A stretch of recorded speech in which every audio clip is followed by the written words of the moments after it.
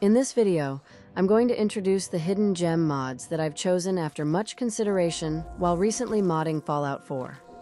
From gameplay to buildings, I was able to significantly upgrade my mod list by selecting a variety of mods. I'm really happy to be able to share this information with you all. First, in terms of gameplay, there's the player comments and head tracking mod. This mod allows You your character to speak two, huh? outside of dialogue scenes. It includes many more features, including combat taunts, player greetings, responses to NPCs, and player head tracking.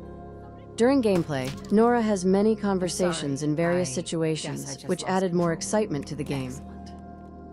And I'll just take this. The next mod is Stimpaks Heal No Limbs.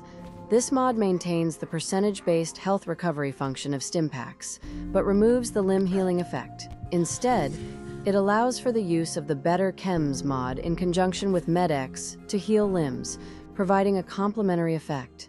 By limiting the function of Stimpaks and instead increasing the importance of MedX, which I usually don't use, I've made it possible to heal the character more strategically. And you just saw a Stimpak in a video, and the Stimpak mod I'm currently using is the Russian Stimpak. It's a mod that most people familiar with the game would know. To explain it once more, this mod changes the original Stimpak to a Russian style, including an animation for using the Stimpak in first-person perspective. However, please note that it does not apply in third-person perspective, which is a drawback. You can choose from various colors, and for your reference, I'm using the green one. Next up is Shield Tactics, a mod that adds a feature allowing the player to take cover behind a companion equipped with a shield or power armor. What's impressive about this mod is that it doesn't just have followers attacking alongside the player, but it also enables them to defend. Particularly when used in conjunction with Uneducated Shooter, it allows for tactical gameplay where the player can hide behind a shield-bearing follower, peek out from either side, and fire at enemies. This mod truly enhances the strategic depth of the game. Next up is the Fallout Kill Cam. Despite a few minor bugs, the addition of a cinematic slow-motion camera during enemy takedowns seems to be a significant feature. In my recent playthrough, I incorporated this mod to enhance the cinematic slow-motion effects during combat. This allowed me to experience more dynamic battles.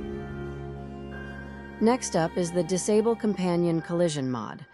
This mod deactivates the collision between the player and their companions, allowing the player to pass through without being obstructed by followers blocking building entrances. One of the significant advantages of this mod is that it allows each function to be toggled on and off through the mod configuration menu. It offers various settings, such as activating only when the player's weapon is drawn or only when the player is in combat, making it quite convenient to adventure with companions.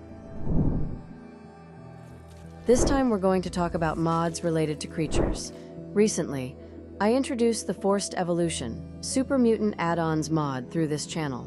This mod adds new enemies to the Super Mutant faction, diversifying the mutants while making them look more unique and powerful. There are mutants that self-destruct by launching mini nuclear bombs, mutant rats, and other mutants with large bodies, making battles with them more tense and exciting. Next up is unique raider gangs and patrols. This mod introduces four completely new raider gangs, unique patrol patterns, and over 40 new armors. I've introduced this mod in more detail in the video at the top left. The four new gangs each have their own unique patrol patterns, so you'll occasionally run into them during your adventures. In particular, the Legion organization, which wears medieval spears or armor, was especially impressive. Initially, I tried to modernize the raiders, but through this mod, I was able to increase the diversity of the raiders and inject vitality into the game. So, I upgraded the raiders to be more distinctive and diverse through this mod. Next up is the FGEP Feral Ghouls expansion pack, the definitive edition. This mod introduces new and terrifying archetypes to the Feral Ghoul faction. It diversifies the Feral Ghouls, offering alternatives to the often seen bloated and gangrenous at higher levels. From unique forms of prey with new abilities to creatures with entirely new capabilities, it will appeal to nearly all playstyles. These ghouls possess unique sounds, models, and textures. This mod is well received by users and is known for its significant improvements to the ghouls. I've been using it myself and have been satisfied with the enhancements it brings to the ghouls so far. This time, I've improved my mod list by installing several location enhancement mods, and I'd like to introduce those mods to you. First up is Femshepping's Diamond City Edit. This mod improves both the interior and exterior areas of Diamond City by adding trees, plants, buildings, and various decorations, making Diamond City more beautiful. The entrance to Diamond City is also enhanced with various trees, flag decorations, and ornaments, making it more beautiful. However, please be aware that the addition of these architectures may cause a decrease in frame rate. Next up is Immersive and Extended Lexington. This mod enhances and expands the Lexington area in the Fallout 4 game. It adds more details and buildings to Lexington, making it feel like a true city.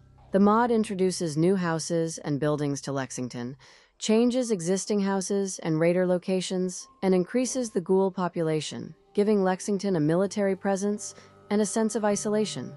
This will appeal to users who were disappointed with the overall size and feel of Lexington. The creator was inspired by the Walking Dead series when creating this mod, and you too will see Lexington transform into a larger and more vibrant city through this mod. This will provide users with a richer and more immersive gaming experience.